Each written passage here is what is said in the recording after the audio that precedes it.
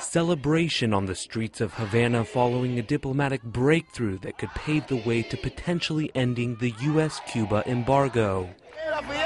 Viva Fidel and Raul. Let them live forever. U.S. President Barack Obama and Cuban President Raul Castro made the televised announcement almost simultaneously, with the U.S. to open an embassy in the island nation.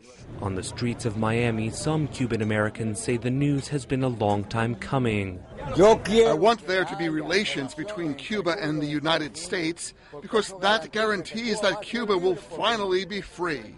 Others say it puts the U.S. and Cuba at risk. I think we don't need to pay that high a price. The U.S. is a big power. It needs to continue functioning like one and tighten its pants. I think Obama's pants are coming loose.